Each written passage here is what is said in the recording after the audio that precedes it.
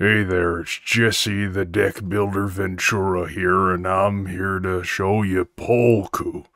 And uh, before I do that, I need to talk about the Gulf of Tonga.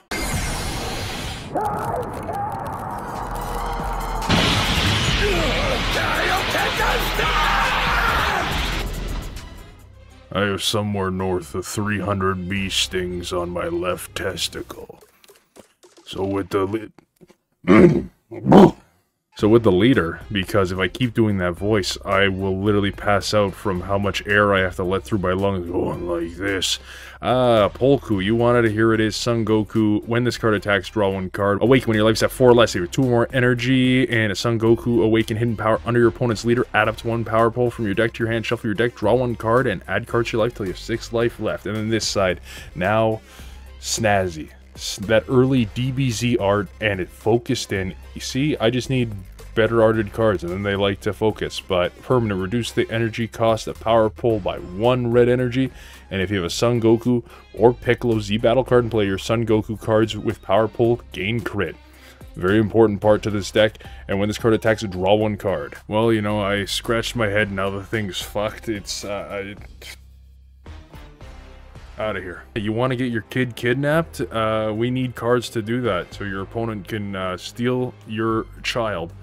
First one, Chi Chi Protecting Mother. When this card is played, look at the top 5 cards of your deck. Add one Son Goku or Piccolo, 5 or less, from your deck to your hand. And here's the kicker auto. If your leader's backside is Son Goku for the sake of family, and your opponent's leader doesn't have a Son Gohan Hidden Awakened power under it, uh, when your opponent plays a card or attacks, place up to one Son Gohan Awakened Hidden power from your deck under your opponent's leader. Then shuffle your deck. Move it over there. Now, the next one, Ox King, grandfather of Son Gohan. So, when this card is played, draw one card, and guess what? He's got the same auto as Chi-Chi for his second auto, where you throw a Gohan under your opponent's leader if you don't have one, and you didn't really need to find these. You can definitely run four of each. I'm going a 4-3 split because I found that it's fine in most games, but there are times when your opponent will uh, be going first with green, uh, charge a green energy, not do anything.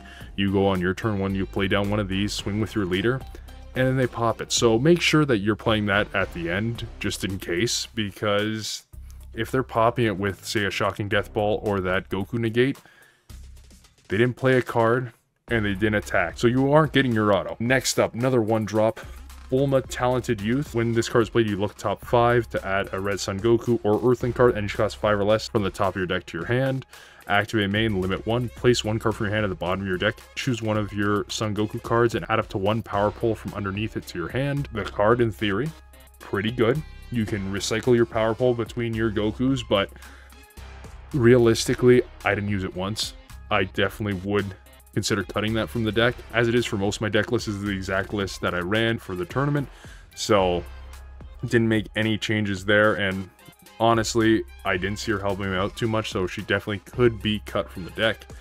Uh, as for our kidnapped child, Son Gohan Awaken Hidden Power. Permanent, this card can't be removed from under your leader uh, by skills other than this card's skill. Auto limit 1 if your opponent has 4 more energy. When your opponent plays a red battle card with both Son Goku and Piccolo, play this card from under your leader into your opponent's battle area. Auto, when this card is played, choose one of your opponent's battle cards ignoring Barrier and it gets minus 35k for the turn, then place this card under your leader at the end of the turn.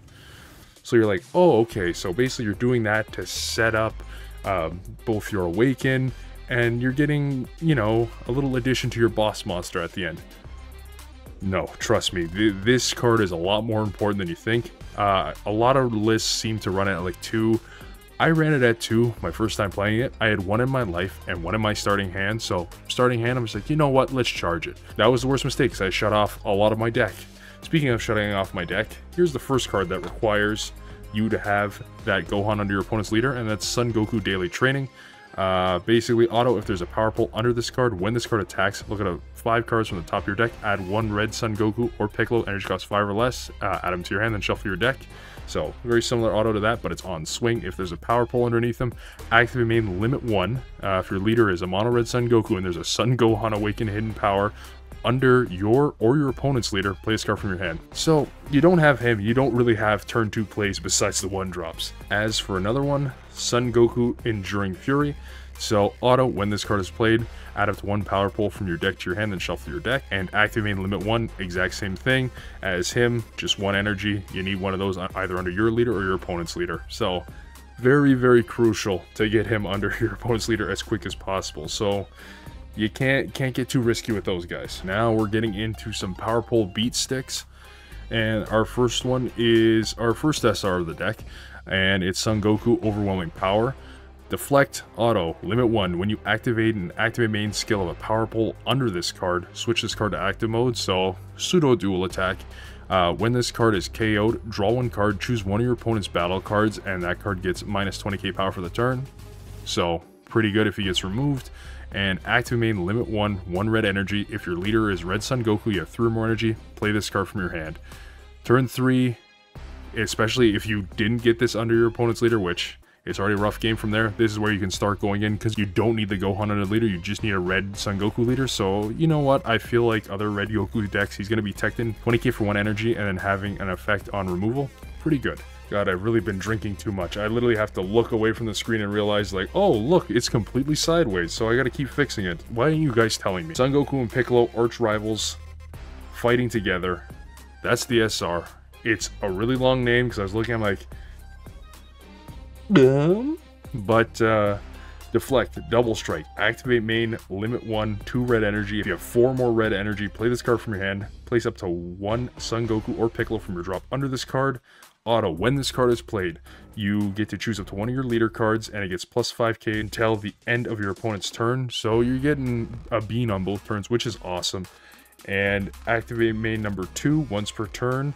Uh, place one card from underneath this card to the drop area, switch to active mode. So it's another dual attack. This one just got double attached to it and it's 25k base, which once we're adding the power pole in, we're increasing some power as well. Next up, another target for power pole, and that is the trio.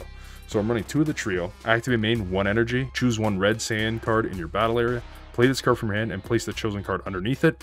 So cool thing about that is a lot of Saiyans here. Mostly we're going to target Goku's because Goku's can have power poles underneath him and I can slide both those right under him which will give him power pole and then he gets the added effects as well. So if I am going to cut out Bulma, I am debating on playing that up to three, even four. Like it, it's a really good card and its activate main is not once per turn or limit one, anything like that. You can play as many as you want. Uh, the only limit one it has is this auto. When uh, he attacks, you get to place one card from under it to the drop, and then you get to choose one of your opponent's battle cards and give it minus 30k for the turn. So he's also removal. Super clutch for any red deck that's running Saiyans. Uh, next up, some power pole support. Piccolo Plentiful Strength, so activate main. Uh, if my leader is Red Son Goku, I add one power pole from under a Son Goku with energy cost 5 or more to my hand, play this card from my hand. So it's a way to add basically power pole from under this card after you've already used the activate main to swing with him twice and put it under him, put it under another one, and then play a 15k beat stick on top of that.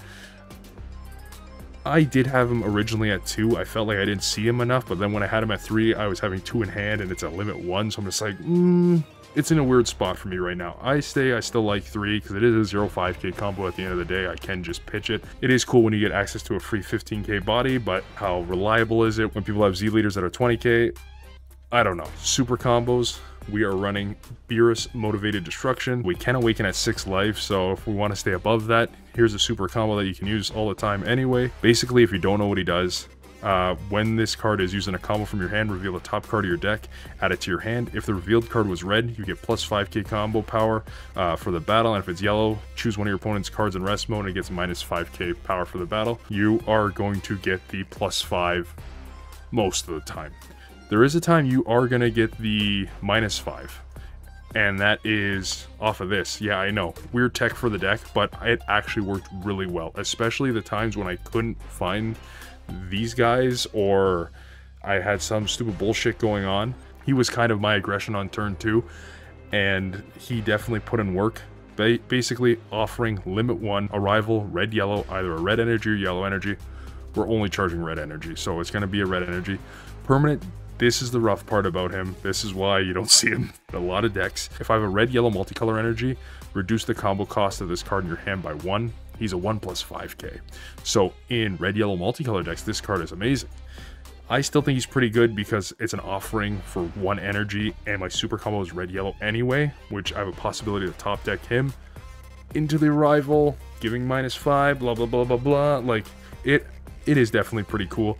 Uh, when he attacks, I get to choose one of my opponent's battle cards four or less in rest mode and can't be switched to active mode until the end of their next turn. So it's a good way to lock out some annoying Z battle card or anything like that that's four or less. But yeah, he definitely puts on the pressure early because people early on are probably going to crit a life. If they don't, you're drawing two extra cards to fuel and hopefully get your one drop or whatever. But I found him actually being pretty successful at two. On to our counterplay of the deck. Uh, we are running three of the SS Son Gohan defeating the demon. Uh, if you don't know what he does, unique double strike block or counterplay. If your leader is red, play this card. Permanent. For each Z energy and the cost of Z cards in your leader and battle area, reduce the energy cost of this card in your hand by one. And for each card in your Z energy, reduce the energy cost of your hand by one. And when this card is played, choose one of your opponent's battle cards to give it minus 20k power for the turn. This card's cracked. No, no matter how you slice it, you're gonna have a Z battle card with 3 Z energy most of the time in this deck, and you're going to have Z energy building up. Why not slap in a 20 double that's also a blocker and can minus 20 on play? He's too good. He is too good not to run. Only counterplay of the deck, going into counter attacks. Uh, going with 4 of Piccolo Prideful Strength, so counterattack limit 1, negate the attack, play this card. Permanent. During your opponent's turn, if there's a Son Gohan Awaken Hidden Power under your leader or your opponent's leader, reduce the energy cost of this card in your hand by 3. And when this card is played, choose up to one of your opponent's battle cards or unison, and that card gets minus 15k power for the turn. So you want to wipe a marker, you can do that. If you want to wipe a smaller card, you can do that as well.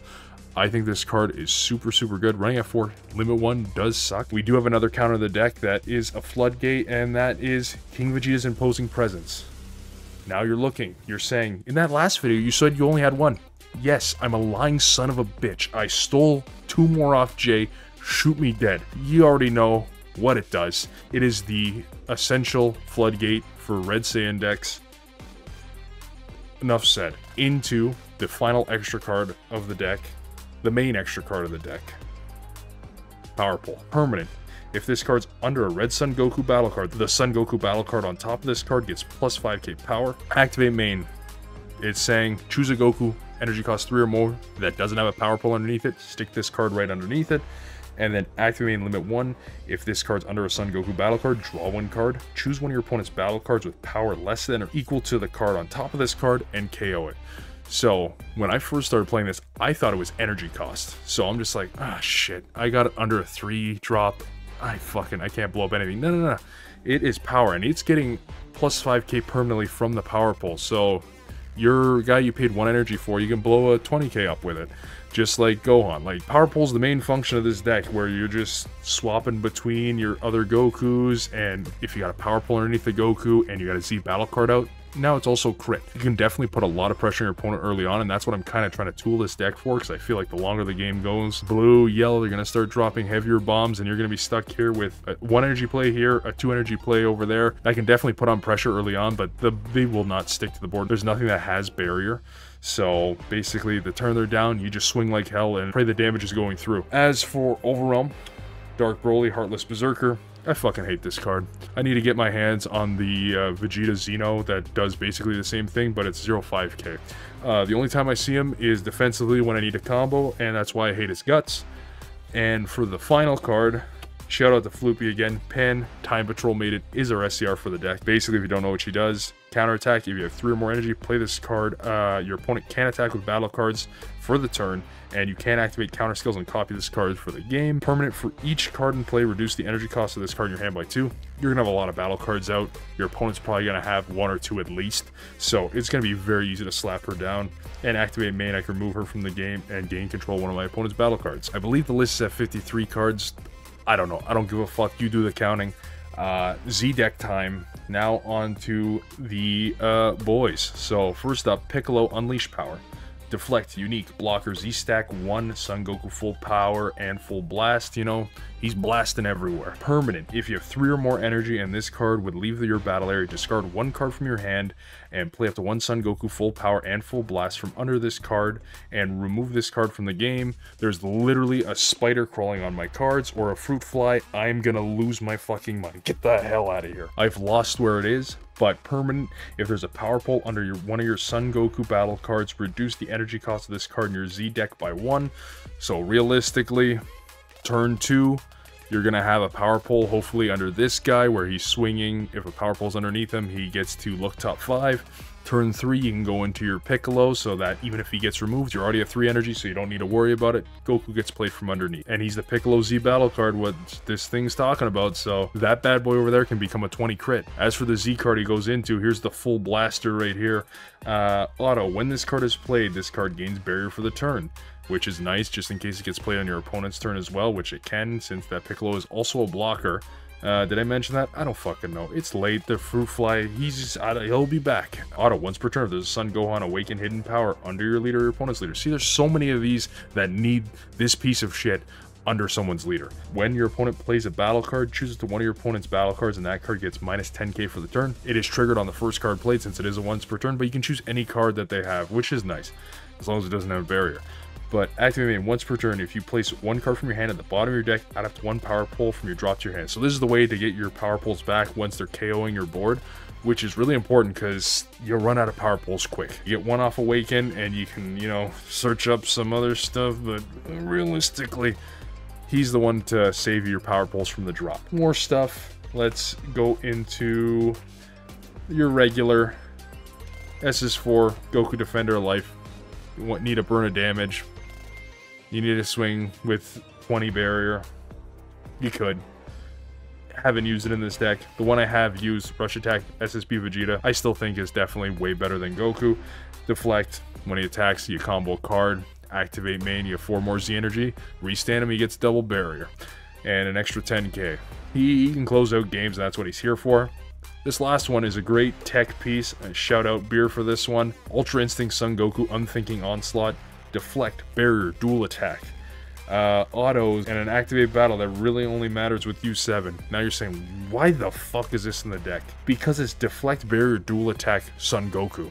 That means Power Pole can go underneath him, and then he's a 25 barrier, dual, deflect, crit. The most important part of that was the barrier. Nothing has fucking barrier here, so that'd be your only barrier target if you want to keep a Power Pole semi-alive. I know ignoring barrier stuff exists in droves now, but I still think he's a pretty good addition. He's also 3Z energy, so if he's out, Gohan's already at 1. But yeah, that was the deck. Um, if you want to see this deck in action, I have the video in the description below. Uh, something Twitch, kaiokenkards.tv.com. I, I, I don't know where I am right now. Um, just make sure to tuck your ravioli into bed.